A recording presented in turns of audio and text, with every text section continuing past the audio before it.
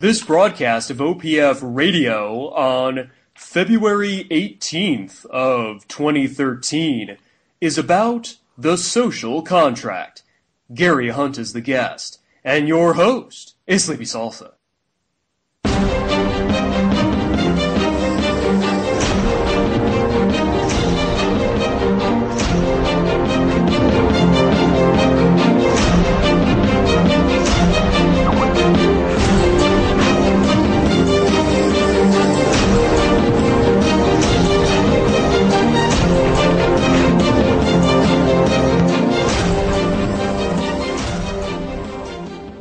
And that was Ashley Alicize's A Dangerous Situation. Good evening, ladies and gentlemen, and welcome to Outpost of Freedom Radio. Many people have their own peculiar notions of what constitutes a social contract. Some think that it is a mutually beneficial contract with government, yet others consider it to be an excuse for coercive manipulation by the state. Are either of these true, or is there another explanation altogether? More importantly, does any notion of the social contract really matter in terms of securing our liberties? With that said, let us turn to our guest. Gary, are you with us? Yes, I am. Good evening, Sleepy. Good evening, sir. Well, let's go ahead and get started. Gary, what is the social contract? Well, as the name implies, it's social or societal, developed from society, and it's a contract. Now, a contract has two important elements. One is a meeting of the minds, and the other one is a consideration for a consideration. Uh, so we need to keep that in mind. The meeting of the minds is the one that might develop the most que- uh, question as we continue the discussion. But let's look at it. Uh, everybody has been involved in a social contract if they're breathing or if they breathed at any point in time. They were born into a family, and there's a social contract there. Um, the consideration for consideration, you could say uh, very basically, is look, kid, we'll feed you, but you better do what you're told. Uh, and that's the consideration for consideration. Uh, it might be a, a paternal society, it might be a maternal society, but at any rate, it is a social contract within that uh, that society, the family. So, social contract, by its very definition, can be broadly interpreted. Now, we can get specific, and we will as we continue, uh, as to what different social contracts, especially the one of primary concern is, which would be, say, the Constitution and whether there is meeting of the minds and consideration for consideration. But uh, understanding the, the concept of uh, social contract, uh, that is it, and it's, it's very broad, and we will bring it down to specific as we continue. Um, there's a question of who creates the social contract. Uh, uh, we should have a link posted up there shortly. This is uh, an article I wrote that deals with the initial society, the uh, tribal societies of, of, times past, Neanderthal. It, it, seems that evidence suggests that tribal societies existed throughout. Now, occasionally, uh, archaeological evidence demonstrates maybe just a single family in one area. Now, a tribe might be that family in, in subsequent generations as they grow, but at any rate, there's always a social contract, whether written or not, that's understood. And, you know, in caveman days, it might have been uh, you'll participate or I'm going to hit you over the head with this club, you'll have sex with me or I'm going to drag you into the cave by your hair. Whatever it is, there's the reciprocity. Uh, the American Indians, the women did the bulk of the work. The men hunted and fought. That's about all they did and, and socialized. And the women did the work. So we've got a situation where there is a trade off that one does one thing and one does the other. Uh, that's the social contract. Well, who creates the social contract? Well, uh, probably the easiest way to describe that in, say, a tribal context would be acquiescence, because we know from the study of slavery that quite often uh, one of the members of the tribe that fell in disrespect might be sold to the slavers and eventually end up coming over here, free ride. Uh, it could be personality or it could be somebody's not doing their job. But the social contract is is made by a common agreement in most cases, sometimes in writing. The larger the society, the greater the likelihood there will be some degree of writing uh, establishing the social contract. A good example is the uh, the British Const- English Constitution. It was written, but it was written in many different pieces of paper over many years. Uh, finally, they consolidated at least a Bill of Rights, uh, but it's created by the strength of the society and by acquiescence to a, a form of leadership, whether it be a, uh, an, an, individual or a group of people. Uh, American Indians, again, they had chiefs. Uh, we're under the, from cowboy movies, under the perception that uh, there's only one chief to a tribe. But in my work with the Indians uh, back in the 90s, uh, two two reservations, the Golden Hill Paugussett and the Onondaga in Albany, New York. Uh, it was clear that there's more than one chief in a tribe, and the chiefs, are, surprisingly, are selected by the clan mothers. The women pick the chiefs. That way, if a chief does wrong, the clan mother uh, remove him from chief. Chief, you know, if they get their sons killed, they remove them from chiefhood. So the structure of uh, who creates it uh, it's acquiescence or common agreement. However, the structure that gives leadership or, or form to it uh, or authority to it uh, varies from the tribal, from the, the paternal and maternal family, uh, uh, societal, like a, an Indian tribe, um, a monarchy uh, by force imposes his will. And, and heredity determines these, the subsequent leader. So, uh, speaking on that note, though, would it be accurate to say that the social contract is a myth perpetuated by government?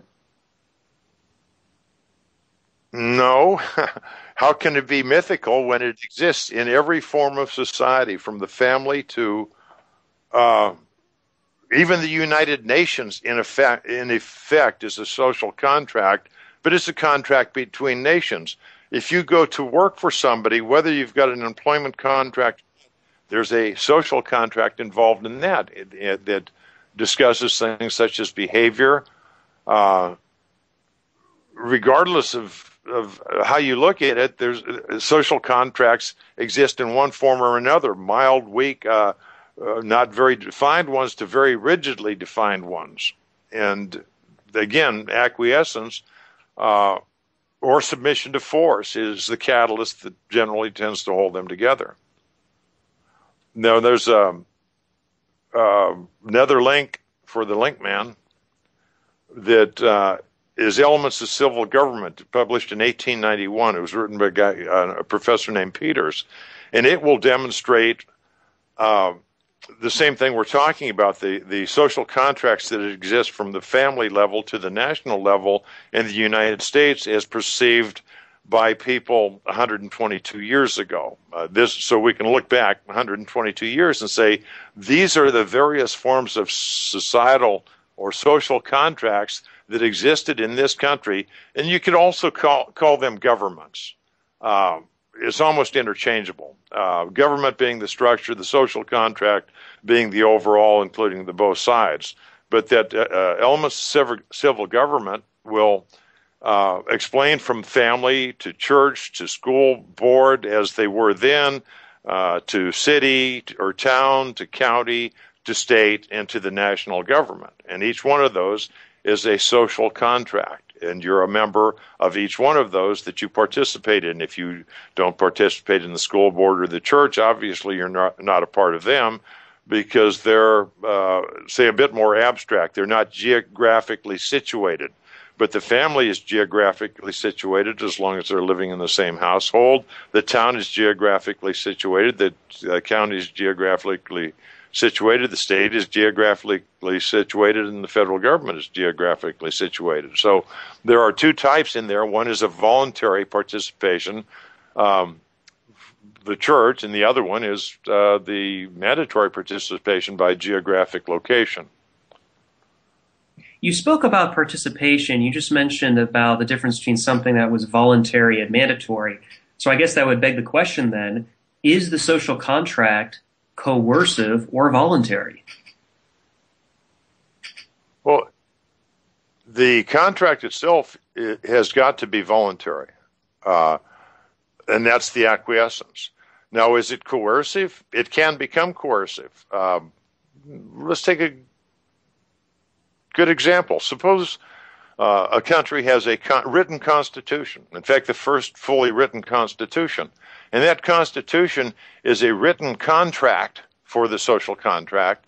And that constitution creates the government, authorizes its existence, establishes the structure for it and how uh, positions are, are given in it. It provides powers and authorities and limitations. And it also preserves certain rights of the people. Um, that's a, a voluntary uh, participation, acquiescence to the whole. However, when it becomes coercive, when it violates the contract, when it breaches the contract, now we're in in a in a realm that uh, uh, has to be looked at a little bit differently, and that realm is basically uh, a breach of the contract. Now, I wrote another article a while back, uh, Sons of Liberty 14. If we can get the uh, link guy to to do his uh, oh, uh, Sons of Liberty 14. Um, what happens when there's a breach of contract? Uh, well, you can acquiesce, or you could decide that you're not going to acquiesce. And a good example of not acquiescing uh, would be the United States of America. Uh, initially, there were some rubs uh, going back to the uh, the Stamp Act in 1865. Uh, petitions put out. They felt that their rights were being violated by virtue of the imposition of taxes without their consent. Um, but then, you know, time went on, and the acquiescence continued, and uh, it wasn't until uh, the, the Tea tax and subsequent events where people started saying, well, maybe we have a breach of contract here. And finally, on July 4th, 1776, uh, a paper was recorded for the world, a document was recorded for the world explaining that there is a breach of contract. It laid out the reasons uh, behind the breach. And even though they didn't have the written constitution to fall back on, just this sc- scattered documents over centuries, they felt the contract had been breached. However, in a, the context of what uh, uh, John Locke wrote in Second Treatise of Government, uh, chapter 19, which has to do with dissolution of government, we have uh, really a document that is a dissolution of government. It dissolved the government. It dissolved the bonds between the people of the United States.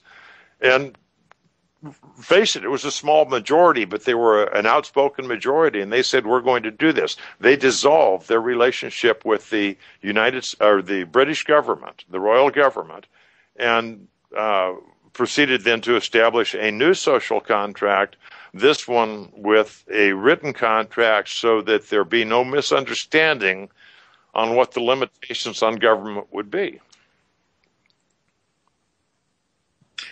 Well, then, are human beings inherently evil or weak in their nature? And if so, does the social contract take this into account?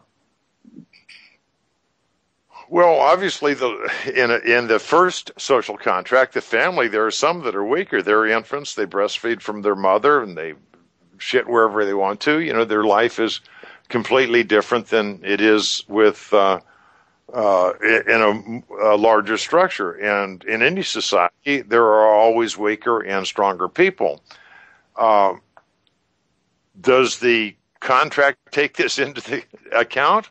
Well, I would say it depends a lot on the, the contract. The United States uh, Constitution does not make a, a provision uh, to deal with weak, and it's limited provisions with regard to evil. And those limited provisions with regard to evil have to do with uh, affronts to the government itself, treason, uh, counterfeiting, uh, or even violations of understood rights that are necessary, and those go into the uh, protection of the for the arts and sciences of copyright and patent, the right to uh, retain things. Uh, so very minimally they address uh, the weaknesses. In most state constitutions, I think you've got the same thing. There's very little uh, said about weaknesses, though most of those societies, especially on the uh, town, the county, and perhaps the state level, accommodation was made with state hospitals. Um, the original hospitals were considered charitable; they weren't profit centers. Um, education to educate people was considered, uh, you know, bringing. I, I, wouldn't say they were weak or. Um, anything, but they were uneducated. And so the educational system brought them up to a level, to a par, uh, where they were recognized as uh, uh, by the social contract as requiring a degree of uh, favor. Now, as far as the evil, uh, there are provisions in each from the federal down to the family. The family, there's an old saying, spoil the, uh, there's this, uh, hold the rod and spoil the child or something like that. Uh, the town, the county, incarceration after conviction of a crime of evil, uh, not mala prohibita, but uh, encroachments on other people's rights. Um, the federal level, as I mentioned, that counterfeiting and treason and certain crimes, piracy, are addressed specifically to uh, to deal with evil. So there's a balancing factor. One being in the written law, tending to be in the written law or the adopted common law, and the other tending to be one of sympathy and charity, where uh, accommodation is made for those that are on the weak side of the spectrum. Does the social contract violate the non aggression principle? Well, the non aggression principle, uh, I think first, Sleepy, so that the listening audience has an idea of what a non aggression principle is, that you need to give us a brief explanation of the non aggression principle before I can address that. So I'll give you the floor now. Sure. Uh, very briefly, the non aggression principle is a moral premise that the initiation of force is always immoral. That's what the non aggression principle or NAP fundamentally means. Well, um, I guess to some degree that's pretty easily defined because if somebody is aggressive against me, uh, you know, the problem comes in in what is aggression? Is it calling somebody a name? Uh, is it slapping somebody in the face or is it shooting somebody? But when we, we talked about the evil, when there's something that has a detrimental or injurious effect on another person, uh, it has to be dealt with. Now, the non aggression principle, principles are interesting things. How do you codify a principle? Uh, or is it left to each individual to determine what the encroachment is and the, whether the encroachment is sufficient to be to respond to with aggression. By the way, uh, so I can't really answer whether it violates the non-aggression principle unless we define that principle in more uh, definitive terms than just being aggressive. Fair enough. So, is the natural right of self defense compatible with the social contract?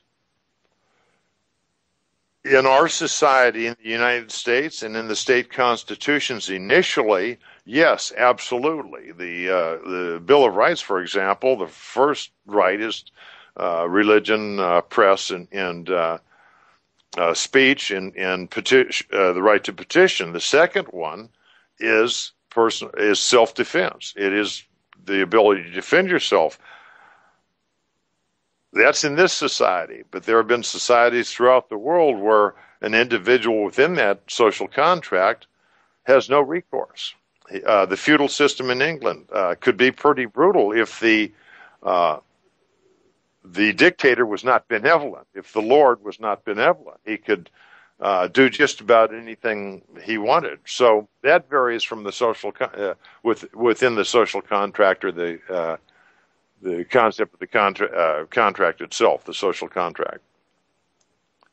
But is can there be a social contract that is uh, let's go back to voluntary it's a forced social contract if that right is not retained uh, because by denying the right to life then nothing else matters so um, it would be forced if uh, not a voluntary social contract uh, ex- the acquiescence is there, but the acquiescence is by intimidation or force.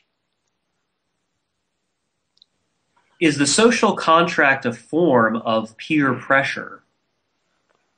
I wouldn't call it peer pressure. I, I don't think that there's uh, a pressure to comply with something that's clearly stated. And the, a proper co- social con- contract obviously should have let's call them the rules clearly stated.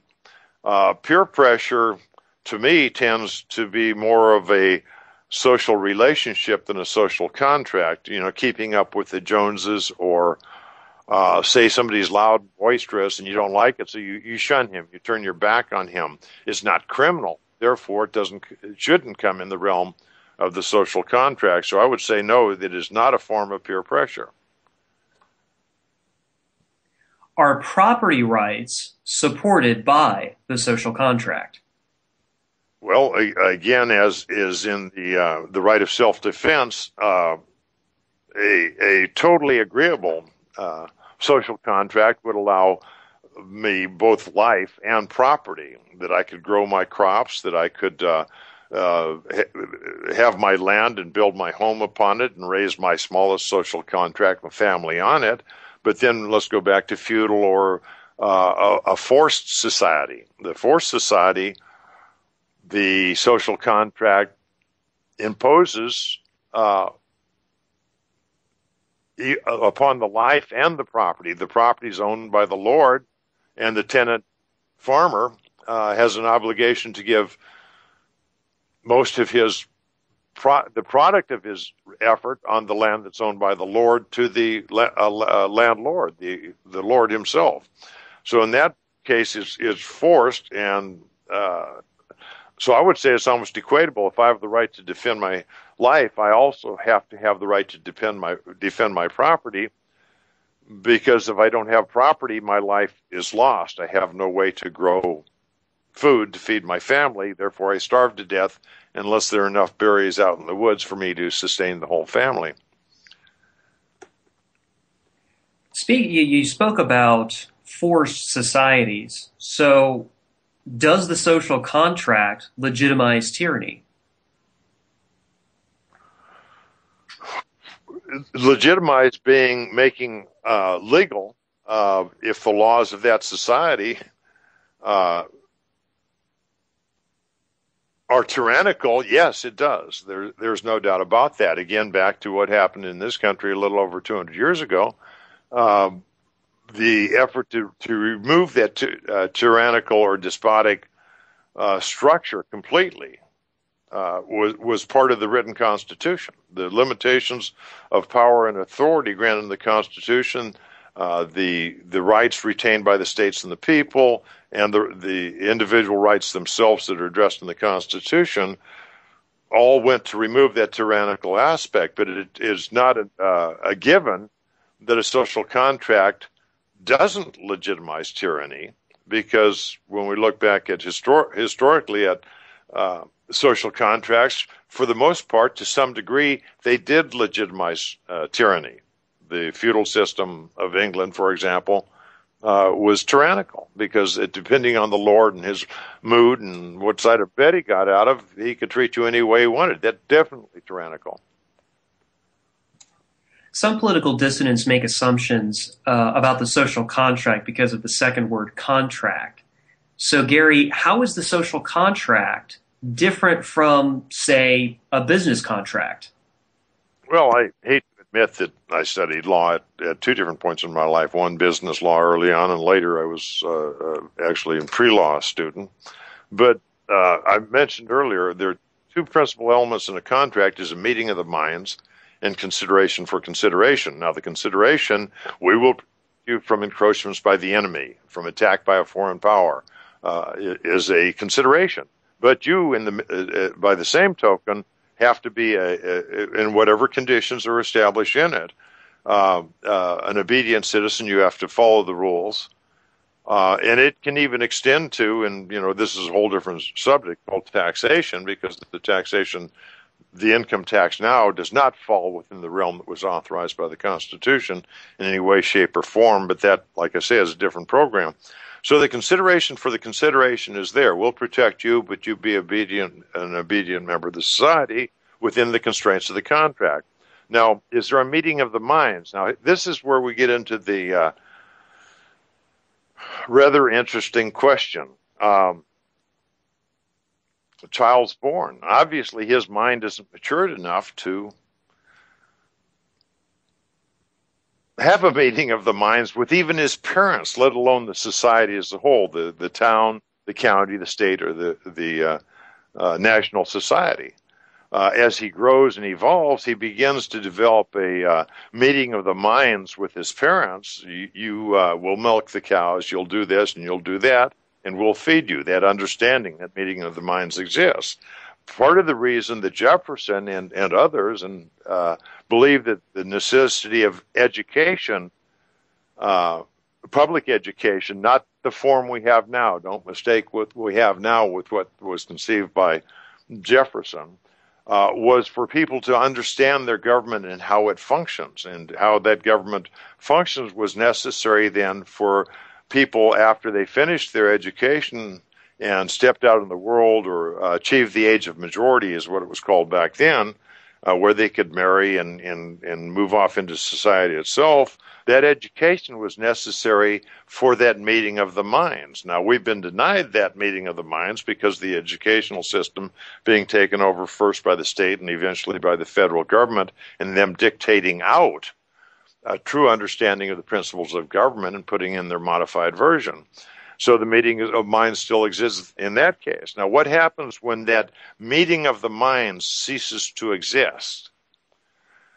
Now we get back to Sons of Liberty 14 or the Declaration of Independence. So for those that uh, didn't get it last time, let's get the Sons of Liberty 14 up there again. Um, if the contract, the meeting of the minds is well understood with the written Constitution, that's the beauty of what we have in the United States. If we recognize that that contract was breached, and to an extent that we were no, the government was no longer acceptable to the people, um, well, let's put it in uh, Jefferson's words in the Declaration that whenever any form of government becomes destructive of these ends, it is the right of the people to alter or to abolish it and to institute new government, laying its foundation on such principles and organizing its powers in such form as to them shall seem most likely to effect their safety and happiness. And he continues, prudence indeed will dictate that governments long established should not be changed for light and transient causes. And accordingly, all experience hath shown that mankind are more disposed to suffer while evils are sufferable, than to right themselves by abolishing the forms to which they are accustomed. But finally, but when a long train of abuses and usurpations pursuing invariably the same object evinces a design to reduce them under absolute despotism, it is their right, it is their duty to throw off such government and to provide new guards for their future security. That means take what you learned, rewrite the social contract, put better safeguards in, and let's go on from there. So that's the the the, the concept and uh, of of meeting of the minds. If the minds cease to meet, let's just say I buy chickens from you, and every month I want ten chickens, and I'm willing to pay you ten dollars for those ten chickens, and I'm getting good quality chickens. And all of a sudden, I, and even though it might not be written in the contract, all of a sudden I'm getting uh, diseased, uh, feeble chickens with no meat on them. They're just bones and uh, skin hanging on the bones. Is that a breach of contract? Well, I might tolerate it a while, but eventually, if I can't remarket those chickens or I can't sustain my family with those chickens, whatever the purpose is, uh, do I get to a point that I consider it a breach of contract? Well, yes, and then the minds shall no longer meet because whether exp- uh, implicit or implied in the contract, the assumption was that the chickens would be edible or marketable, whichever my purpose was. And when they cease to meet that, the meetings of the minds ceases because the consideration is not equitable or equal to the consideration in return. And so back to the Constitution, or the British Constitution, or our Constitution. When the meeting of the minds gets to a point that the words are so misunderstood that what we think we're getting is not what we're getting or not what we believe we should be getting, that meeting of the minds ceases to exist. Now, it requires a continuing contract to make that meetings of minds and interpretations uh, down the road because if I'm just buying 10 chickens from you for $10, that meeting of the minds is an instant. And once the the the contract is consummated, you've got your $10 and I've got the chickens. But it's a perpetual contract wherein we come into a uh, a problem with the meetings uh, meeting of the minds. So it's okay it, it, it is a, a business contract in that respect, in that the conditions of contract must be met. Okay, so similarly, how does the social contract differ from an employment contract? Well, an employment contract, there, there's not a whole lot of difference really, but an employment contract tends to be uh, a temporary contract for a term uh, in some cases, and others is, is just temporary. There are right to work states, and there are states that are not right to work. Uh, in a right to work state, the contract be, can be terminated by either party without notice. Uh, other states uh, where there is not the right to work, they tend to have a little more protective laws. So, but an, an employment contract is a short term and a small aspect of your life. It's conditioned use. Eight hours a day, it applies. The rest of the time, you're free. Where the social contract is 24 hours a day. And you're subject to it all the time. There is no exception. Perhaps if you leave the country, if the contract allows you to separate yourself from certain obligations if you leave the country, it might be true, but I'm not aware of any in our contract. So one is perpetual and uh, all encompassing, at least to the extent of the authority of the contract. And the other one's the uh, uh, temporary relationship, and it's uh, applicable only during that period of time in which you're working or operating under that contract. Now, how, you spoke about taxation just a moment ago. Has the social contract been used to legitimize taxation? Well, it depends on the contract, and uh, I've done some research on the, the Constitution. This this phrase "direct tax" has always bothered me, and so I went looking for answers for years. And fairly recently, I found an interesting book called "Ratification" by Pauline Maier, and she addresses that issue not in her words, but by going back in history and pulling forward the terms of the contract as expressed verbally in four or five of the ratification conventions in the states. Now, it may have been done in more states. When we're looking back at history like this, what is available, what was recorded, and what, what is available uh, is perhaps limited. But in at least four or five instances, the Federalists, who were the promoters of the Constitution, said direct taxes will only be applied in emergencies. And then, if we look in an historical context, we will find that direct taxes were not income taxes, they were on the land, a fixed commodity, on the land itself. and that they had to be apportioned among the, the states so that each state would, based on its representation, would have a limited share. Now, somehow we've gotten away from that. So we've got two things. The consideration has changed. All of a sudden, they're saying, You owe me more than your obedience. You owe me half your paycheck. And we've also dissolved that meeting of the minds because it was understood for over a century the direct uh, taxes were only applied to land, and it was uh, understood for over a century that direct taxes would only be collected in an emergency.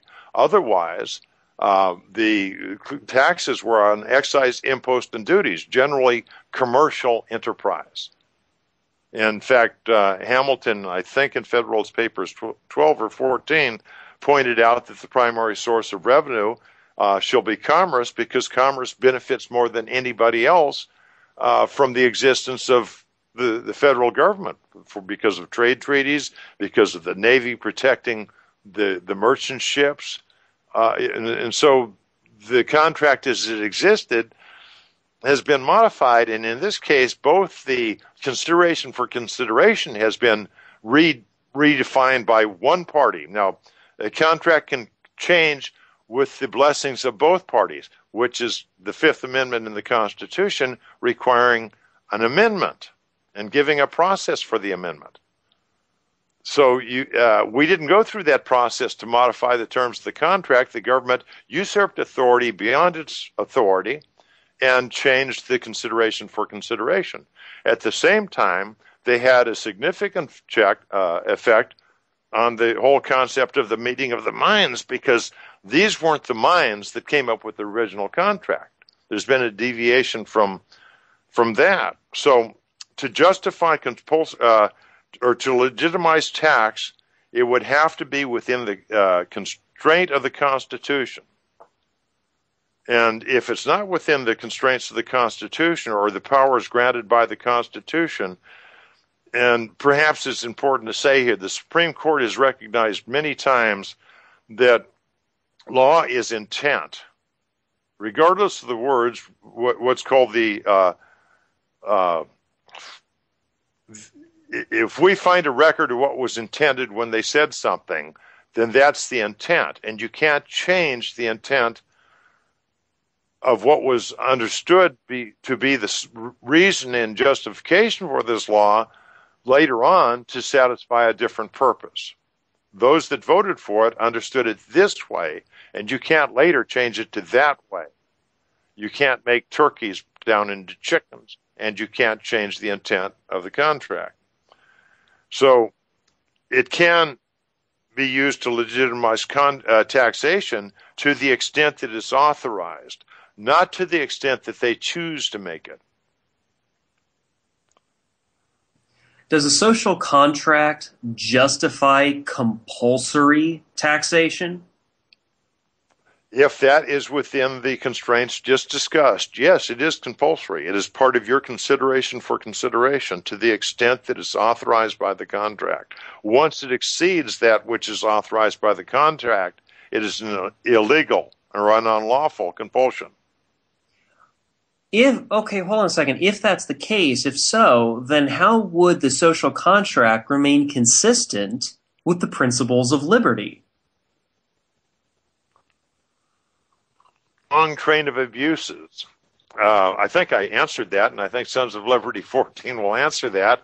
Uh, there's a point in time, there was in the colonies here, they'd been in, in place for 250 years, some of them, and all of a sudden, they realized that this contract is being violated, and they were sufficient in number. Initially, we're talking about maybe three, four, five percent of the people were upset over what was happening, and they got other people to go along with non-importation, various measures, trying to force back to compliance with the English Constitution. But eventually, those people got a larger and larger gathering, and finally said on July 4, 1776, says, You have breached the contract. It's the beyond that point. Now, remember, from Lexington and Concord to uh, uh, 1770, uh, July 4, 1776, we had a um, an olive branch petition that went to the, the king and, and, to the parliament. We had a number of measures, uh, petitions that were trying to redress these grievances, but there was no redress. There was no response in most cases, which is kind of what we get today no response from government. They have no obligation to respond to our demands, our petitions.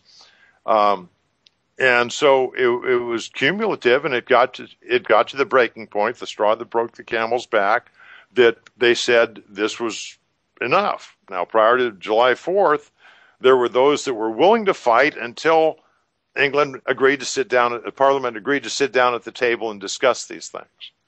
But after July 4th, uh, that closed the door on reconciliation with England. It, was done. It was out of the picture, no longer tenable, uh, because the breach had grown too wide and the animosity had grown to the point and enough lights were lost to the point that there was no um, recourse but to either uh, to follow through on the course the colonists had chosen uh, to win or lose. Lose would have put them under absolute submission. They would have been a penal colony at that point, much like Australia was. Uh, to win then allowed them to uh, take the lessons of history and to come up with the written constitution which intention has since been breached, uh, but uh, for the first time in history, laid out on paper what they felt would be a lasting government, the Great Experiment. Does remaining in the country prove individual consent to the social contract? Well, I think that they all remained in the country. You know, we're we're in a different world now. They could go to Philadelphia, um, and they, you know, after about a year, they could go back to Boston and remain in the country. A little tougher nowadays with helicopters and uh, radio tracking devices and things like that. Uh, but there's two ways to deal with it. One is you recognize the breach and you say we want to replace this government in accordance with the Declaration of Independence, and the other one is to flee the country. And when you do that, you give up any protections afforded by the country, uh, and you go establish yourself elsewhere. Those are two valid options. Um, but as long as you stay in the country, the government is going to assume your consent until that withdrawal of consent becomes open and notorious.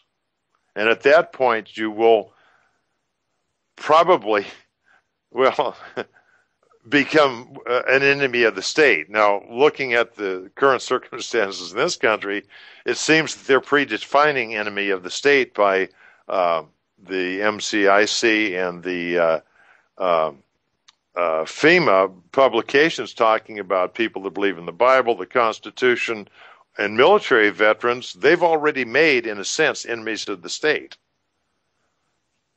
And if you're an enemy of the state, why not take on the state? But, you know, that is the individual choice. Now, there was something recognized back then, it was called a state of nature. And that's where there is no government. There is no social contract on a larger scale. You might still be part of the family. You could be part of the community. In fact, Worcester, Massachusetts, the county of Worcester, Massachusetts in 1774 resorted to a state of nature uh, because the uh, Massachusetts Government Act, they said, screw you. They went to the courthouse, told all the judges to resign or else. The judges resigned.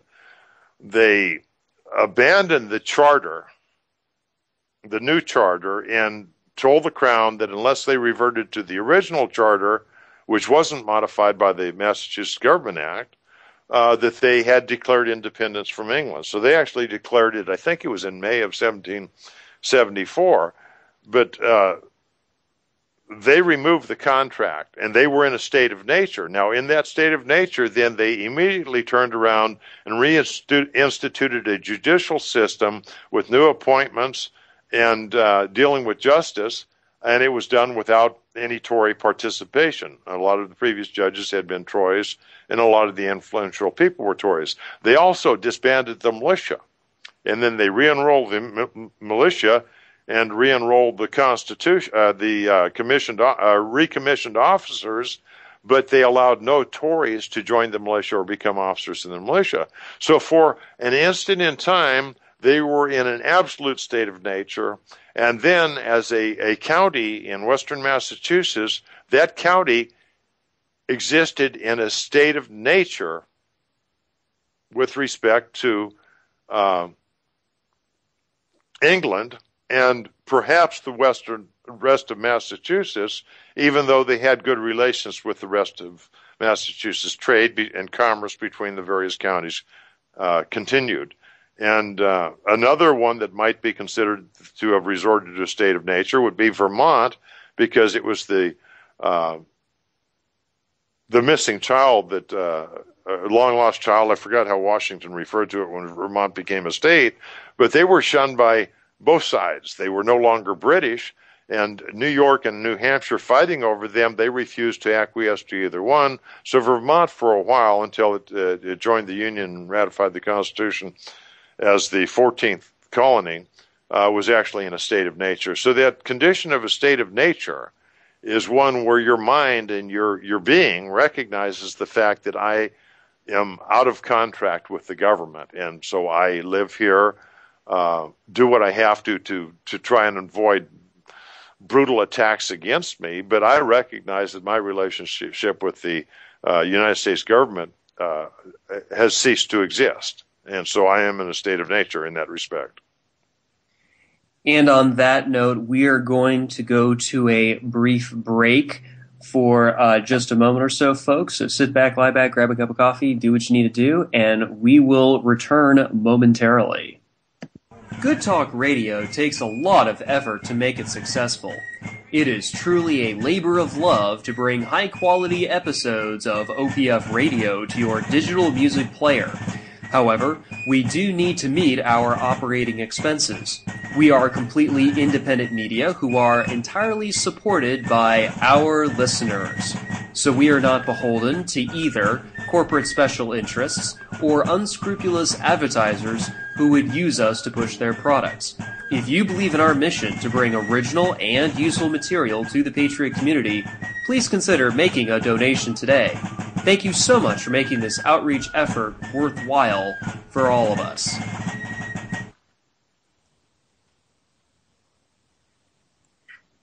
And we are back, ladies and gentlemen, for this OPF episode on the social contract.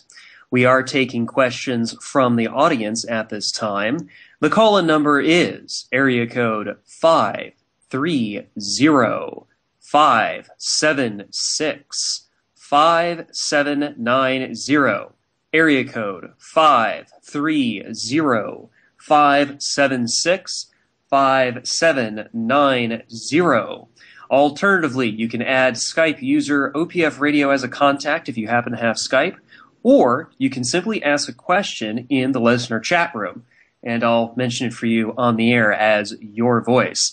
And while we wait for those lovely questions and calls, Gary, is the social contract geographic, unilateral, and implicit? There have been a couple questions posed uh, through circuitous channels, and I think we need to address them. Uh, okay. Uh, what room is there for dissent in a social contract that becomes a governmental contract? Three people refused to sign the last day of the Federal Convention of 1787. If five of the 13 ratifying states, the percent of voting dissidents was over 40%, what obligation to the social contract if a person dissents? Um, within any society, uh, there, there, let's go back. Uh, in a paternal society or maternal society, the, the father or the mother is, is God. In a dictatorial society or monarchy, the dictator or the king is God. Uh, in a voluntary society such as ours, it's based on a, a concept, and, and it's the only viable one, of majority. However, back in 1787, uh, well, you're talking about 1787. It doesn't matter whether people signed in 1787 or not. That document, that piece of paper, that idea, that concept that came out of the convention in Philadelphia went first to the Congress that had been formed under the Articles of Confederation. That Congress then, without comment, forwarded, forwarded that do, uh, document onto the 13 colonies, all 13. Those colonies were given a choice of whether they wanted to ratify it or not. Now, the Constitution specifically says the ratification, this is Article 7, the ratification of the conventions of nine states shall be sufficient for the establishment of this Constitution between the states so ratifying the same. So it would not go into effect unless approximately three quarters, well, I guess it would be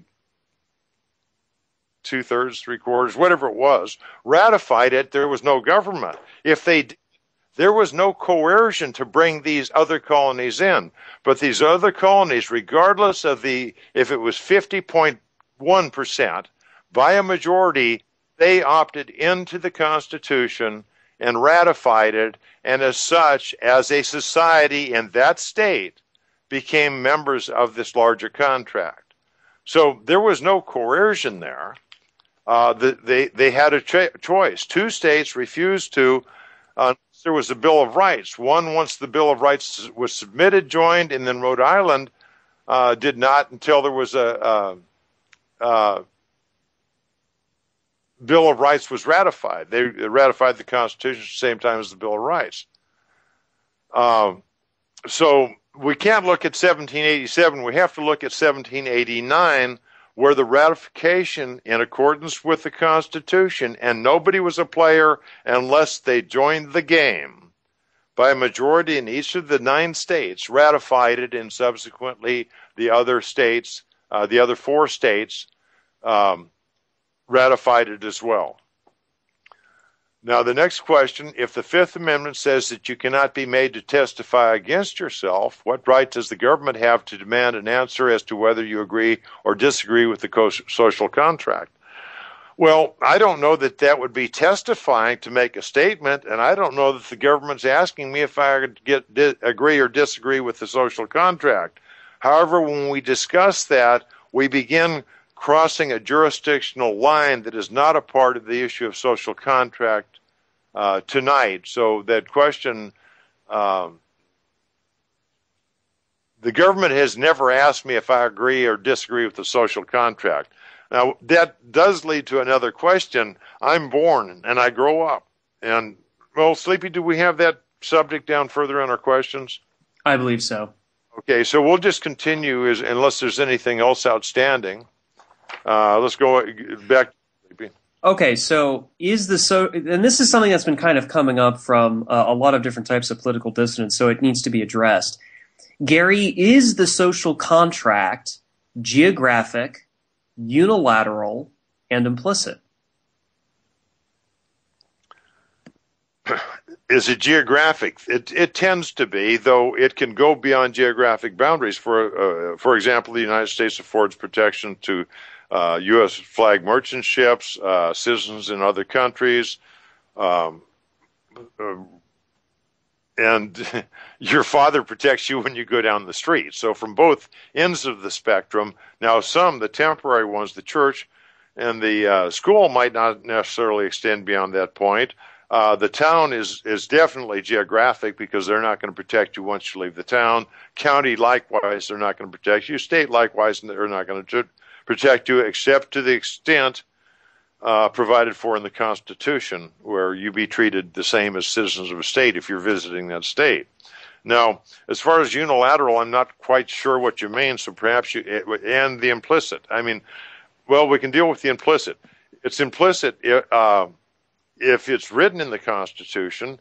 Um, if it's not, then it, it, it's not and unless it come, comes within the scope, that authority doesn't exist. So the Ninth and Tenth Amendment were written in the Bill of Rights to fill that hiatus, that void between these elements. It said if they're not addressed, they belong to states and or the people. So uh, there are no voids in the contract because of that. Now, wait, wait, we're living today, aren't we? Well, unfortunately, it doesn't quite work like that now now, as far as unilateral, explain what these people, the source of this question, meant by unilateral. Sure. What they meant by unilateral was that the social contract is uh, imposed upon from the state, you know, the polity, government, to the citizen in one direction. And, you know, put it put it another way, the citizen cannot impose the social contract on the government, but the government can. So the question being, is the social contract is it true that it is unilateral as well? what they do in 1775 and 1776? Didn't they uh, impose the contract on government? Um, acquiescence accepts the condition. If there's a breach and you acquiesce to the breach, you accept acquiescence. Um, do you have the right? Why do you think the Second Amendment is there? If we need to turn this government over, the Second Amendment was, without a doubt, read the words of the founders, was there should that government exceed its authority and become despotic or tyrannical. So the, the, the, the problem, I guess the gray area comes in. I'm born. Uh, well, obviously, I'm subject to the contract because I can't fight back. As I grow up, if I get that education Jefferson talked about, I understand government, and if they breach their contract, I'm more likely to object when they breach it. But if I'm taught by the government schools that uh, the government is omnipotent and can do anything at once, then I accept and acquiesce to that condition. At some point, however, when I think that the strain is too great in my relationship with government, I have to, for by whatever means available to me, um, assume myself in a state of nature. And when I can, when enough people can come together that find themselves in this that same condition as happened from 1765 to 1775, they will be gather their forces. Now, hidden history. Uh, during 1774, a year before Lexington Concord, there were instances where tens of thousands of people with staves or pitchforks or, or, or uh, rifles went to courthouses and told the judges to resign. And it was basically it was over foreclosures. Ironically, it was over foreclosures because there wasn't enough money circulating in the the colonies because the taxes were eating up the specie, the silver and gold coin, and most states had to issue paper currency like uh, Federal Reserve notes. And this is all people had. Now, if the person I owed a, uh, on the note to wanted specie and I had paper, and he said not that not acceptable, which is why the provision all debt uh, gold and silver in the Constitution, uh, then he could foreclose on me because I didn't have specie, silver or gold, to pay any obligation to him. So the people got outraged, and that was one of the elements that through Western Massachusetts, where there was no money. Now remember, Boston had been embargoed. They had the Massachusetts Government Act, the Massachusetts Port Act, and these people were in dire straits, and they had no recourse. So they were forced into that state of nature. And Worcester's the one that I, I found the best example on. But uh, you can impose back on government when there is a sufficient force to do it. Individually, you can try. There are a lot of people that try legal remedies, but trouble is they're using the rules of government to try these legal remedies. And I don't know if that can be achieved or not. I have yet to see people successfully uh, achieve uh, fighting back through the courts that are run by the government.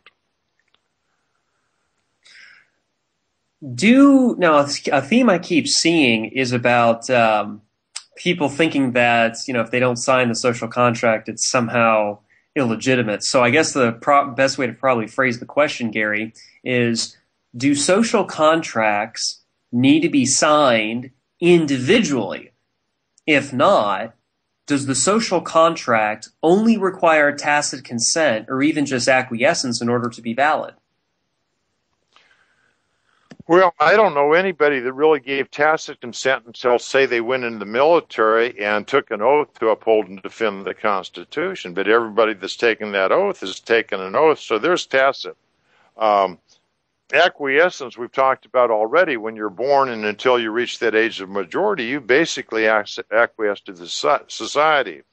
Now, it's been proposed that it doesn't apply to me because I didn't sign the contract. And here we get into I don't think something that I don't think is the least bit confusing. And the people that I've discussed with over the years that have taken, let's say, the, the Spooner position, that's not a sexual term, that's Lysander Spooner, uh, have said that I didn't sign the contract, therefore it does, is not binding on me. Well, the contract, the, the Constitution doesn't really bind you if you read it very carefully. It, it the laws that are allowed are counterfeiting, uh, violation of copyright, uh, treason, piracy, uh, there's only about six or seven authorities, and then if you look at the first couple decades of the country, all the way to the Civil War, you'll find that the government only imposed criminal acts on land that was ceded to the federal government and had jurisdiction ceded as well. So they didn't reach out and touch our lives. But that aside, uh, the question arises I didn't sign the contract. Well, there's 300 million people in this country today. Let's assume they're all lawful, just for the sake of discussion. Well, how many have there been since uh, those 3 million stood against uh, the British colonies back in 1776? There were about 3 million then. So we probably got easily a billion people that have lived in this country as citizens during that uh, uh 220, 230 years. So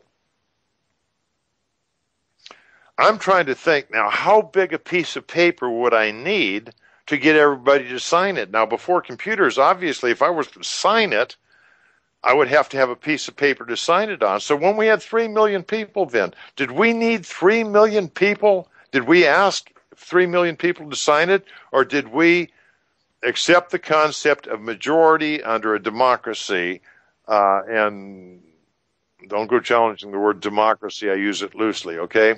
Uh, we accept that concept of majority because it would be impractical back then, and with the cost of paper, it would have been prohibitive uh, economically, uh, perhaps, to provide enough paper for 3 million people to sign it. Now, if you can get in two columns, perhaps 40 to 50 signatures, let's say 50 signatures on a, a piece of 8.5 by 11 paper, do some quick math. How many sheets of paper do you need to get 3 million signatures? How many would you need to get 300 million uh, signatures? Let's look at another aspect that makes this, mm, let's say, ludicrous. Um, at what point do you sign? At birth? At one year of age? At the age of majority, which varied from colony to colony, but generally ran from 12 to 18 years of age. What point in your life now do you uh, have to sign or reject this contract? Well, let's say 18, age of majority, and presume you're educated and can make a rational decision. So every year or every month, those that turned 18 this year or this month go down to sign the contract. Now, with 300 million people, I'm not sure how many that is, but that's a heck of a lot of people. And uh, I guess it'd be kind of like signing up for the draft. Now, what happens if somebody doesn't sign that? Does that mean that they can live in this society and the benefits of this society and drive on the roads that are created by the society and have the protections afforded by the military against foreign invasion by the society and all these other things? But since they didn't sign, they don't have to pay taxes? What do you do with the people that refuse to sign? Isn't there an impracticality to the whole concept of saying, I didn't sign, therefore I'm not bound by? The solution is quite simple. The solution is addressed in the Declaration of Independence and in that article, Sons of Liberty 14. There is a simple solution. There is a complex solution. No, it's not a solution. There's a complex and unanswered proposal uh, proffered by Lysander Spooner and these people that uh, persist in, in bringing forward Lysander uh, Spooner's agreement. Now, I, I'm going to be honest, I've never read the entirety of, I think it's Constitution of No Consequence, and it was part of a series that he wrote. I've never read the entirety because I get laughing somewhere along the line. But in all that I have read, he is pointing out a problem, and that's easy to do. We've got a problem. He's offered no solution. He's offered nothing to accommodate dealing with the problem that he's proposing. Now, what good is that? We got a problem. What's the solution? I don't know.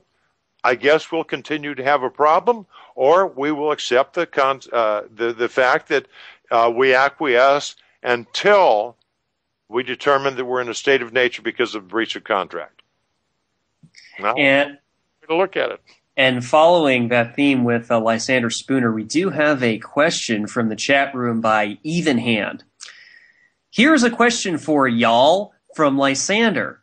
If the Constitution is binding on those who created it and agree with it, what right is there to bind future generations to that social contract? Well, uh, okay, we run into the same problem. Jefferson worked out once regarding debt and the ability to tax into the future, and I think he came up with 18.3 years of age as the average generation uh, by his figuring. So, does that mean we throw the Constitution on the auction block, or do we rewrite it at 18.3 years? Because there has to be a point. You can't do it annually nobody'd be able to raise crops. Everybody'd be busy dealing with this Constitution. So let's use, in fact, let's round it off. Let's use 20 years. Every 20 years, we're going to throw the Constitution out for reconsideration. Well, I guess we could do that. Now, do we uh, understand that ratification means accept as is? It doesn't, the amendment process allows revision, but to ratify is as is. So, do we just toss it out and say, okay, here's a blank sheet of paper, start over? Do we put this out for ratification, i.e., acceptance as is? Or perhaps we could resort to what's called the Fifth Amendment and say, we want to amend the Constitution because we think there's something bad there.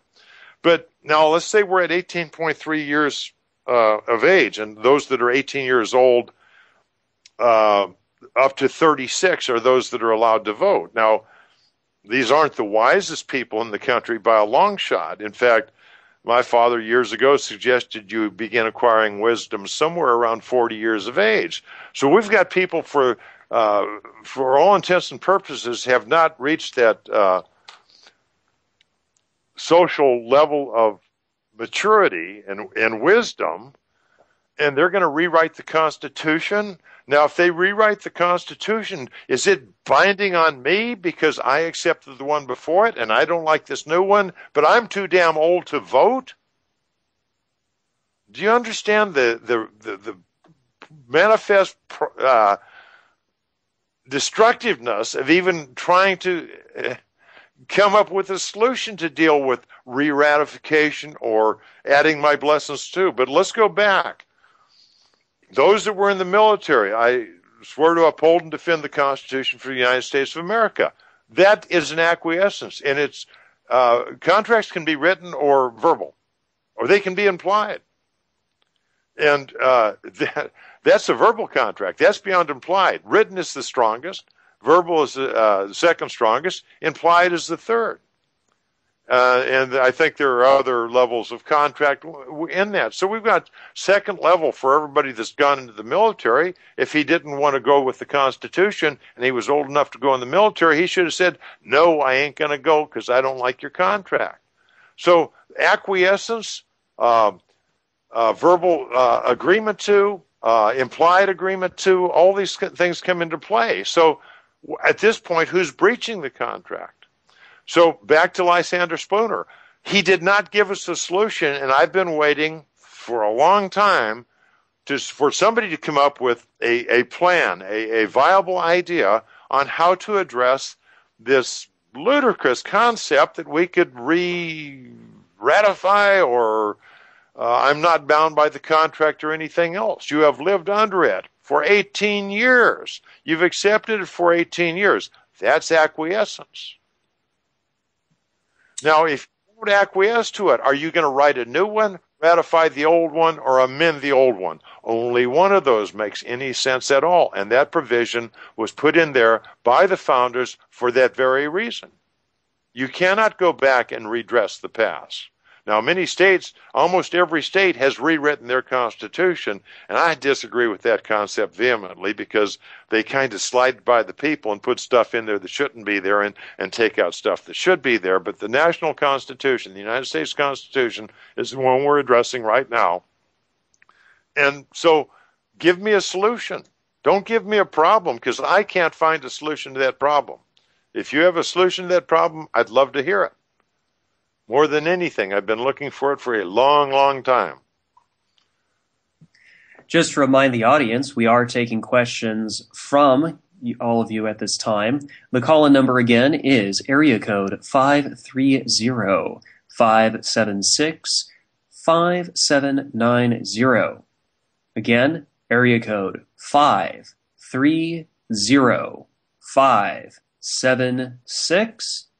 530-576-5790. Alternatively, if you have Skype, you can just add user OPF radio as a contact, or you can simply ask a question in the listener chat room. Now, to move on, Gary, No, is wait. the so See something in the chat room that uh, it says if 12 agreed and one disagreed, now that's 13, so I'm assuming they're talking about ratification of the Constitution. Uh, the Constitution says the one that did not ratify would still get included. No, it, it didn't. Uh, Rhode Island was not a part of the United States until it ratified the Constitution. There was nothing that compelled Rhode Island or later Vermont to enter the Union. It was until they ratified. Otherwise, they were a nation on their own in the world, and they would have to defend themselves unless they had a treaty or some compact with the United States. But I doubt the United States would have afforded that contract without their participation in um, providing a means to provide for the common defense and the general welfare and the blessings of liberty. So, no, that's a misstatement to say if one disagreed, the Constitution said that one that did not ratify would still get included. It was not, it was excluded. Go back and read some history. They were not a member, they were still part of the uh, Articles of Confederation contract, uh, uh, Congress, which was totally ineffective at that time. I think they kind of pretty much packed their bags and went home, even though on paper they still existed under the Articles of Confederation, but they were ineffective because the other 12 had abandoned it. And that left what uh, I think Rhode Island was the last one to ratify the uh, of the 13. Uh, Rhode Island was basically on its own. It was independent in the world. It had declared independence from England and had not rejoined the United States. So, uh, okay, Sleepy, back to you. is the social contract intended to be the highest moral good? I don't think so. I think that morality now our our moral our our, our social contract recognizes what might be called uh, uh, Judeo-Christian uh, ethics or Judeo-Christian morality. Uh, the morality is not inherent in it, though it's implied in it. Uh, we're not a Christian, otherwise would be a theolog- uh, uh, theocracy. Um, but the, the the the moral aspects of it is not addressed in the Constitution. In fact, the states back then, for the most part, adopted the common law of England as it existed July 4, 1776, the date of separation. Um, common law, for all intents and purposes, not statutory or Roman civil law or however we want to define it, basically is one that protects us uh, between um, from being injured by other parties. So there's not really a moral equivalent to it. There is a degree of morality because, um, you know, states that don't believe in thievery will cut off the hands of the thief. And I think the moral values that were implied on ours weren't uh, to the moral good, but they were to that moral standard where there are other forms of punishment. And back then, that punishment tended to be restitution and perhaps uh, fines, uh, uh, penalties uh, for as a consequence of the uh, to discourage future behavior that was offensive against another person. But the moral good, highest moral good, what is the highest moral good? It depends on your if you're a Buddhist, a Hindu, a, a Muslim, a Christian, an atheist. They all have different moral goods. So I think that's why the the founder chose not to incorporate uh, a specific God in the Constitution by virtue of uh, understanding that the Christian Judeo values were the moral foundation, which is why the Ten Commandments was all over the Supreme Court building, but it wasn't codified in law because of the problem had between the various religions that preceded the Constitution formation of the United States. Each had its different set of standards. Some could burn witches at the stake, and others, uh, the Quakers, were much more gentle. Uh, there was no standard, but basically the moral values were very similar, and they were do unto others as you would have them do unto you. Is the social contract logically consistent?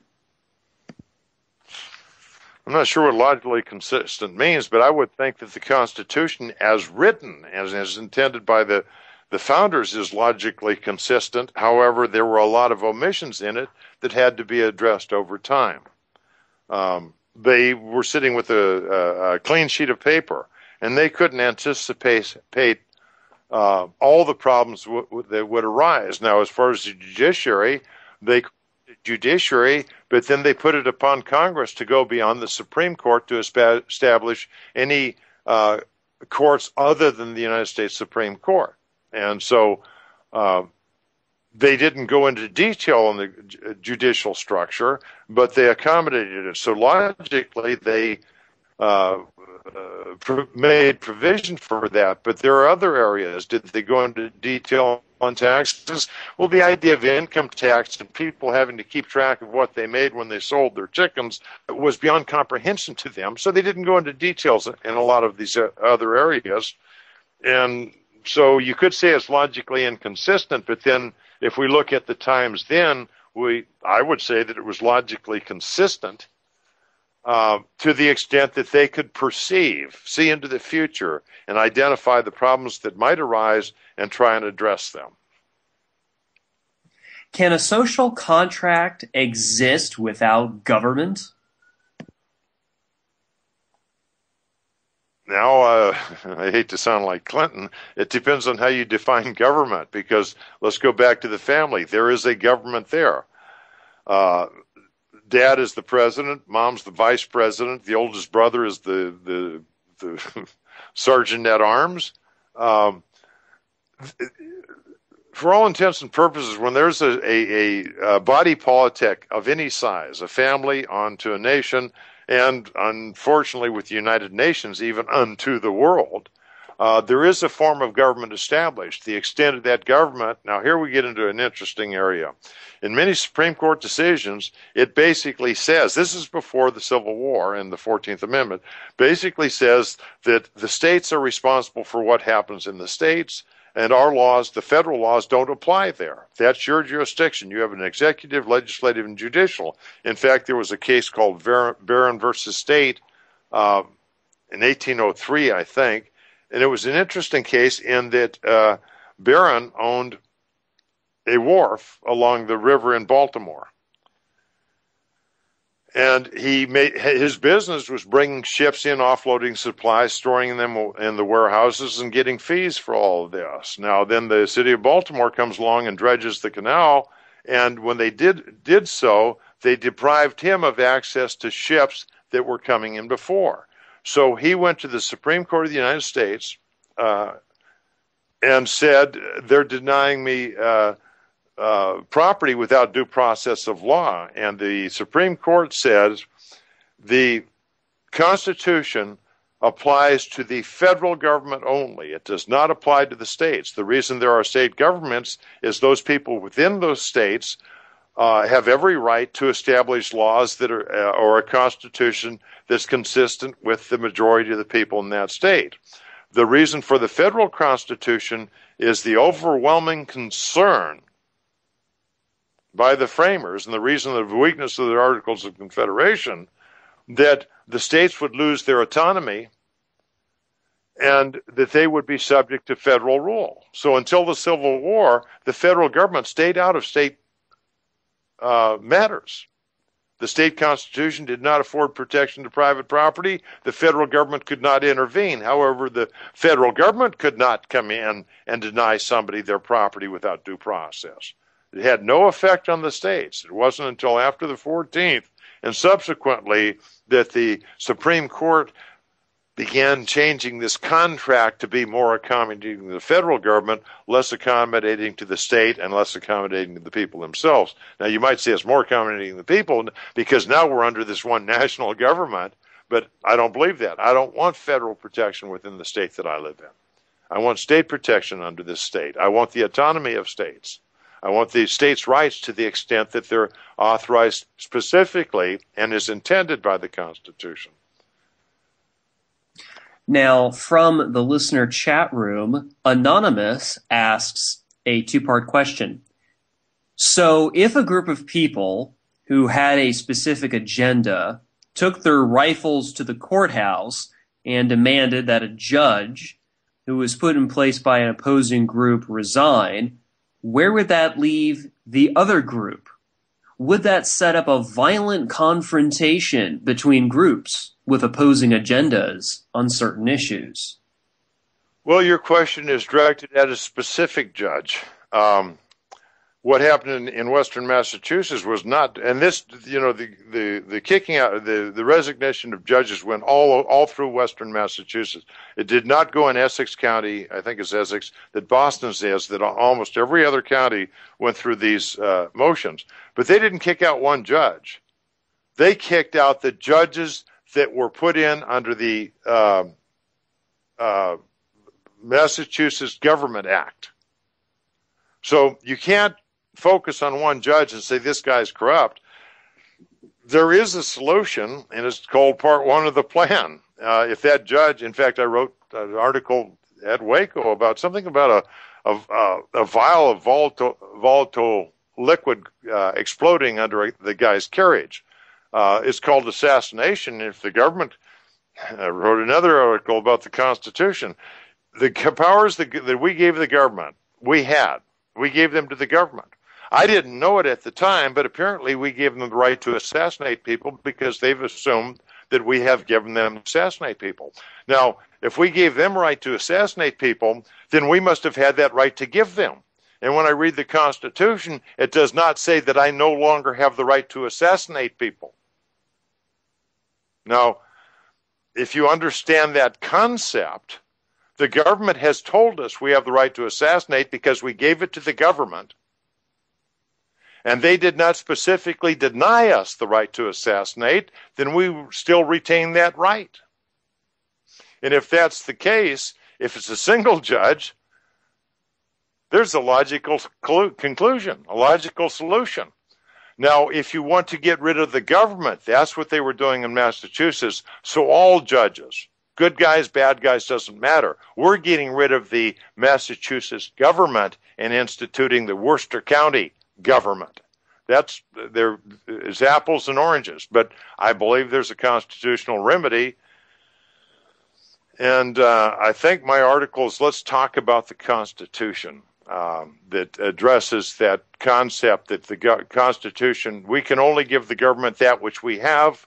Uh, therefore, uh, the government cannot have anything we did not give it. If that's the case, um, they have told us that they have the right to uh, assassinate people, then we must assume that they got that right from us, and they have not denied us that right, therefore, that we still retain that right. Now that's where the rubber meets the road. That's getting to the point that uh, you are saying there's a breach of contract. Um, that's an individual choice. What can I say? Well, speaking about assassinations, is the social contract immoral? I don't think the Constitution's immoral. But like I told you, I live in a state of nature. I only relate to the government uh, to the extent that's absolutely necessary uh, to provide for my safety.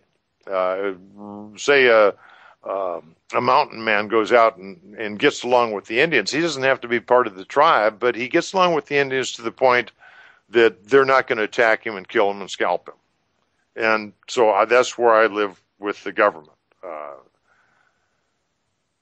is it immoral now? You damn right it is, because the Constitution says that the only Congress can declare war, And since 1953, whenever it was, we have gone into what's called police actions. Now, Jefferson did it. Um, well, Jefferson did the, the, uh, the Barbary Coast, went in and dealt with the problem and got back out. It wasn't a perpetual war. The Korean War has been going on for 60 years. Oh, uh, the Korean police action, 60 years. Uh, the longest war in our history, history, active war, is Afghanistan right now. It exceeds all the other wars we've been in in, in the length of the active combat in the war. Um, but that's not a war either because Congress didn't declare these. So the immorality is there. The breach of the contract, that, that provision was put in the Constitution so that no one man would have the power to go to war because he would only go to war to serve himself for gain, for whatever reasons he might do it. So the representative body of the people, the House of Representatives and the Senate, Congress, only Congress can declare war. That means that we had to, through our representatives, by back to that majority rule, say that yes, we're justified in going to war. So when that authority was aspect of government became immoral. Whatever the justification was, it became immoral by breaching that Constitution and going out and let's be blunt about it, murdering people for whatever they chose to uh, in they chose to pursue as a consequence of their police action. Does the social contract create a condition of slavery?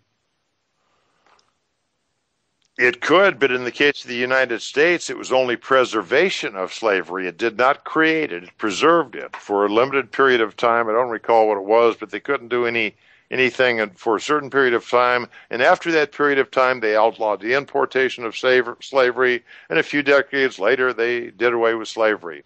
But, you know, a social contract isn't necessarily the United States. And I'm sure that many countries have social contracts that allow slavery to be created by one means or another capture, enemy, uh, uh, punishment for crime, perpetual slavery, uh, purchase. So they can create slavery by that act. Now, if the question is directed along the lines of taxes, uh, don't look at the slavery aspect. It, it looked like at the constitutionality, constitutionality of it. Is it constitutional? Does it create tr- tr- slavery by acquiescence or by involuntary action or by implied consent? Yes, it does. Now, that may sound strange, but let's make something clear. In 1984, I last paid income tax. I had my own business at the time. Since then, I've worked for seven or eight different companies, uh, corporations. Uh, I think all of them are probably corporations, but I have not paid income tax since then uh, because I don't recognize tax is valid under the Constitution. So are we creating slavery by virtue of income tax by paying income tax? Yes, but it's implied or is acquiesced to. It's implied. If you look at the 1040 next time you sign one, read it. It says a couple of things, but the significant one is down at the bottom says under penalty of perjury, I hereby certify that I am the taxpayer named above and this information is true and correct. Something to that effect. So you have made yourself a taxpayer by that statement under penalty of perjury. Now, taxpayer comes under the Title 26 of the U.S. Code. And so you have volunteered into that organization by saying, under penalty of perjury, I am the taxpayer named above. Now, if you're not a taxpayer, you don't have to pay taxes. So the IRS, the taxpayer, they have a choice: take the money and run, or charge you with perjury for lying on your your W four. So the slavery that is generally spoken of in this country is that of taxation. And I say it's a voluntary act in those people that choose to pay it. Now, there are a lot of ramifications to that, and we have scheduled another program down the road to go into taxes, to go into no de- more detail about what those ramifications are. But no, the con- social contract did not create slavery. It was the voluntary act of the people that chose to give the federal government their money. Now, Gary, here's probably the $64,000 question. What if someone wanted to replace one social contract with his own social contract? Is he at liberty to do this or not? Well, he says one social contract, so I'm not sure which social contract he's replacing with his own social contract. Well, his own social contract is valid to the extent that there are other parties to that contract in that social sphere that acquiesce to that contract. So, uh, well, let's look at it this way. My daughters don't have social security numbers, they don't have birth certificates, but they're part of my social contract. They're my daughters. When they leave the home, they leave that social contract. Are they bound? I didn't replace the other one, but I didn't introduce them into it, and I'm going to leave that choice to them when the time comes. But my social contract is this family, and as they remain in this house, they are bound to that social contract. Uh, I didn't replace another one, and I don't have the authority to replace the other one I do have the authority as an individual to enter the state of nature where I reject the other one. So replacing is one thing because to replace you'd have to acknowledge the existence of uh, the validity because it ceases to exist. It does not exist. So the you know by the wording of the question, uh, I, I got to say absolutely not. You can't not replace it and I would have to know what his own social contract was and who it extended to. If he thought that he could uh, replace the Constitution because he wrote one, that would be true if he could get enough people to step in that state of nature and go through the process that those people did 230 years ago to achieve a replacement, d- dissolve the existing government and replace it with a new one. So you know, depending on how I interpret what this uh, says, the answer is no, emphatically, or yes, emphatically. Well, Gary, the reason I ask is that I don't see any reason why some vloggers, especially those up on YouTube, seem to suggest a dichotomy between the non aggression principle and the social contract, especially considering that Aaron Hawkins, who is a voluntarist, has admitted recently that the non aggression principle is just a type of social contract. So I think it's a false dichotomy. Uh, also, but, but, but even if you were to say that that dichotomy was legitimately genuine, I'm just seeing different types of political dissonance trying to replace the social contract that's connected with the federal constitution with their own social contract, whether it's the non aggression principle or something else. Well, if we look at the common law of England, an injured party, the jury determined whether a party was injured or not. You know, it was submitted to the jury. The jury heard evidence on both sides and made a determination. That is within the community. So it's the standard of the community. What I might get a guilty verdict in this community, I might not over there. And a good, for instance, um, horse thief in the West was capital crime, usually without trial. But in Massachusetts, you were probably returned the horse and perhaps paid a fine. So, uh, because your life could be at stake in the West, but in Massachusetts, it was simply an inconvenience. So, different jurisdictions, different towns, different counties, different states might have different standards on what constitutes a crime against another party. But it's based upon an injured party and it's based upon a determination by a jury whether the party was sufficiently injured, and if so, what are the consequences to the party that did the injuring. Uh, when we get to what's called mala prohibita, which is laws, Roman civil law is the best way to define it because uh, historically that is probably the most pronounced of a, a structured legal system that said you can, thou shalt be able to do this, thou shalt not be able to do that. And um, those laws were were strictly to force uh, social compliance without regard to moral values on people and to standardize justice, which doesn't require a jury. If you think about it, if you did this and it's proven. Uh, so, mala prohibita um, should not be a part of the social contract. And I don't think it was intended to be initially as I go back and look at the laws. As I pointed out, the federal government passed laws with criminal penalties for destroying government property, one specifically in 1825, where they specifically said destroys government property on lands ceded to the federal government and where jurisdiction was ceded. Otherwise, that jurisdiction remains with the state. Not that we see this anymore, but that was how limited the authority was, and that was causing an injury to the United States government by damaging their property. And to uh, codify it, they had to be specific on the intent and what it applied to. Uh, now we've got laws that say you can't do this, can't do that. We can't even understand the laws. Uh, so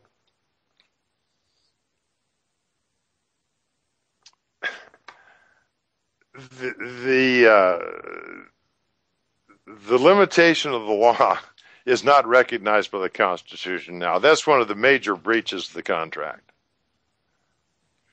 Okay, well, Gary, uh, any final thoughts or statements to posterity regarding social contracts? Well, there's uh, another link I've got in there. It's called the Tahoe Regional Area Plan, and this is kind of interesting. A lady named Maureen Heaton, she died, uh, I think, in 2000. Uh, but I used to, to correspond with her and speak with her on the phone uh, extensively, and she wrote some interesting articles. But we hear all this talk about Agenda 21, and we've got to get our, our uh, link man awake. Uh, but uh, Agenda 21 was first noticed in, in 1992. I published this article of hers in 1993 in February. And it was the first application of a government without a constituency and without jurisdictional boundaries. Tahoe Regional Area Plan was an appointed government appointed by the state, not the people, but the state of Nevada and the state of California. They had created a government, governmental entity that incorporated parts of both two states in the Lake Tahoe uh, region. Ironically, their acronym is TRAP. Now, they later, I understand, changed their name to Tahoe Area Regional Plan because TRAP was rather suggestive, and that's exactly what it was, is pro- perhaps the first non-elected government in, in this country that covered a, bro- a, broad area. Now, that's a breach of contract of Constitution, California, Constitution, Nevada, and Constitution of the United States, really, because – uh, states aren't supposed to enter contracts without the consent of Congress, and I don't know that Congress consented to this. However, uh, with that last uh, thought in there, and I think it's important that people realize how long this Agenda 21 policy has been going on. Uh, I don't know that there's much left to say unless somebody has any more questions. Well, I'd like to thank you, Gary, for coming up, uh, coming on tonight, and clearing up some misconceptions and straightening out what social contracts really are really are all about. I appreciate it. Well, I hope I cleared it up rather than created confusion. But uh, yes, I, I, was nice to have the opportunity to uh, answer something that's been uh, close to my heart for years because this idea of Lysander Spooner's in my life goes back into the 80s. First working with the uh, tax people, not the government ones, the other ones. And uh, so it's nice to hear my thoughts on it. And it, it's it's over 20 years that, that I've been contemplating this, studying history, trying to understand and grasp some concepts that Lysander Spooner uh, addressed in that. And, and, quite frankly, I can't even get a finger hold, let a, a toe hold, or anything on uh, what he poses is a problem without a solution. And I can't understand why he would have done that unless he just wanted to confuse people's minds. But uh, anyway, having no more questions, that's all I have to say. All right. Well, thank you again, Gary. Appreciate it. Well, everyone, that concludes this broadcast of Outpost of Freedom Radio. Please join us for our next episode on Monday, March 4th, where we will address the theme of if we do this, will they do that? By taking a look at, the, at motivational incentives and just a little bit of guerrilla warfare theory. Good night and good luck.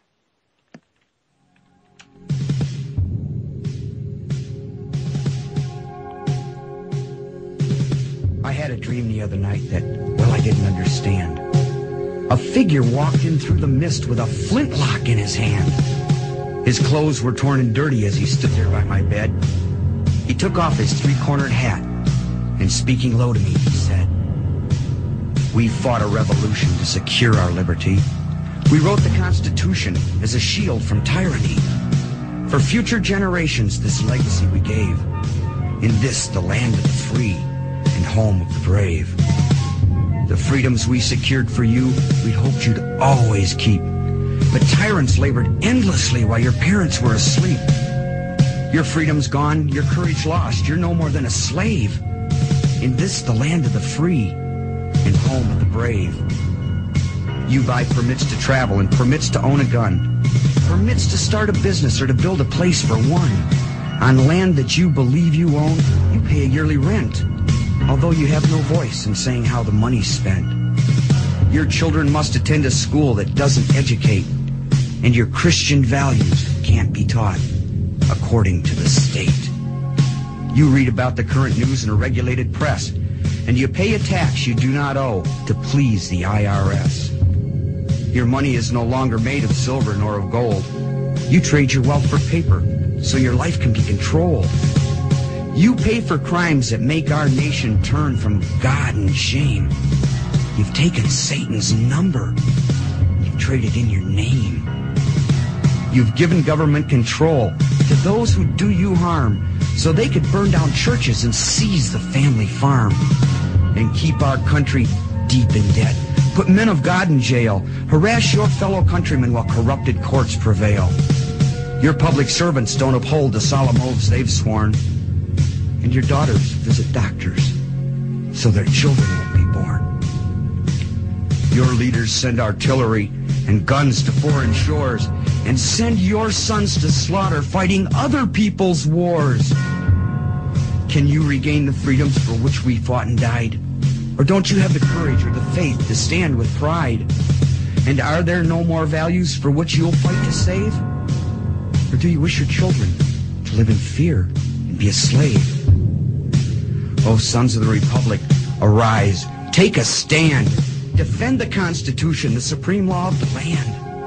Preserve our great republic and each God-given right. And pray to God to keep the torch of freedom burning bright. As I awoke, he'd vanished in the mist from whence he came. His words were true. We are not free, but we have ourselves to blame.